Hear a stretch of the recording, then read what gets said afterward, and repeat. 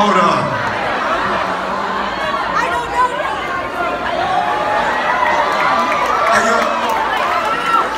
I said I came here to celebrate the name of Jesus, and I don't know about y'all.